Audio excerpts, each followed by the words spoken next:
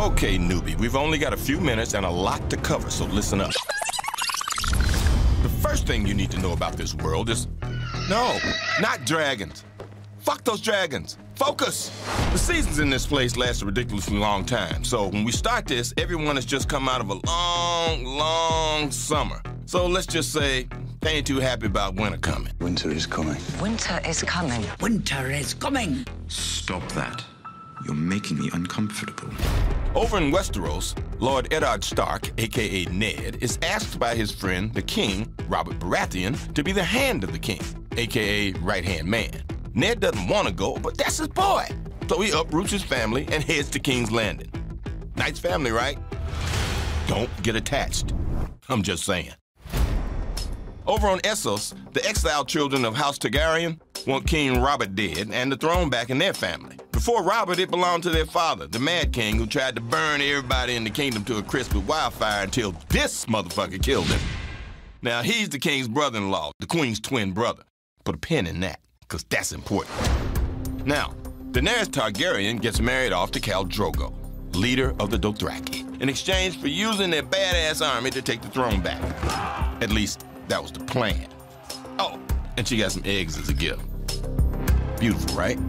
Okay, now, last place you need to know about is this 300 mile long, 700 foot high ice wall. The Night's Watch defend the wall against their sworn enemies, the Wildlings, but that's not the only thing they need to worry about. And some time has passed now, and all hell is broken loose because of some things I don't have time to explain. Just know that in all seven of the kingdoms of Westeros, peacetime is done. Finito. Everybody thinks they should sit on the Iron Throne. This guy, this guy, this guy too. But the guy who's on the throne now is the heir. He's not exactly humble about it either. The king can do as he likes. People doubt the legitimacy of his right to the throne because his uncle and mom, the queen, are a little too close. Come on, baby,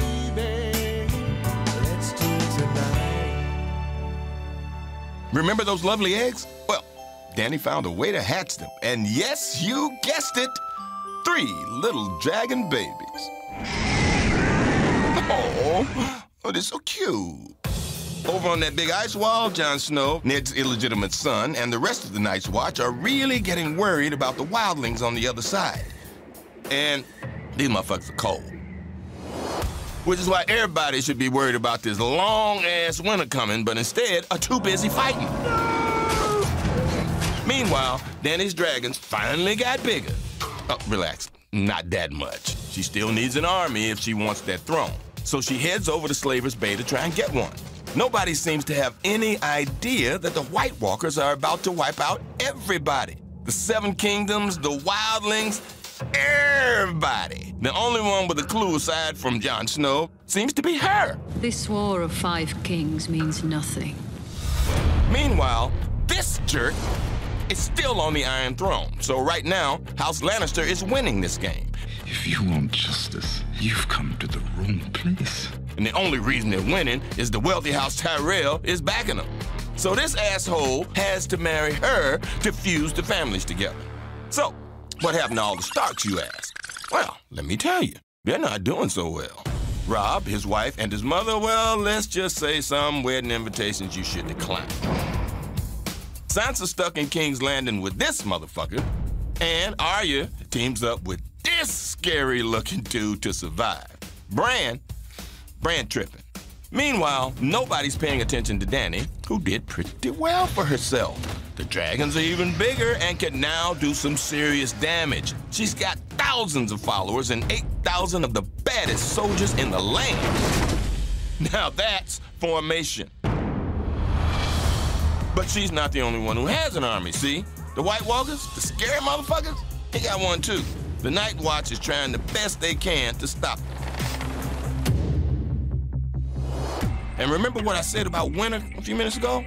It's almost here, and still ain't nobody ready. Even though they've been saying winter's coming for four seasons now. And Cersei thinks she's a good leader, but she ain't.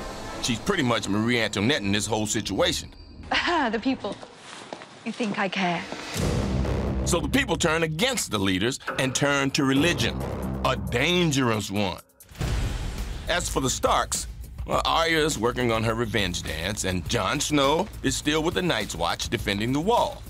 So, let's look at the wall again, shall we? Remember, Jon knows that the White Walkers, aka Army of the Dead, are coming.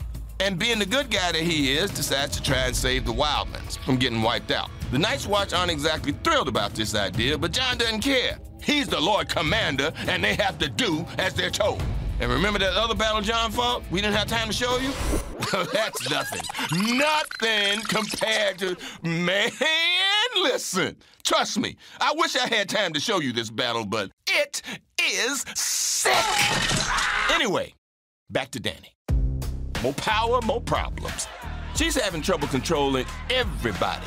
The former slaves, the masters, these guys with the masks, even her dragons ain't fans of hers right now. And what's worse, before nobody even knew she had dragons and she wasn't a threat. Now everybody knows she had dragons. And right about now, she could use some solid advice as to what to do next. I am the gift. He is Tyrion. Sure, he's a Lannister and he's a lush, but hey, don't hold that against him. You're going to advise me. Now, let's check in on the Stark kids one more time. Sansa can't catch a break and is now stuck in the worst relationship of her life with this dickhead. As for Arya, a girl has decided to boost her skill set by becoming no one.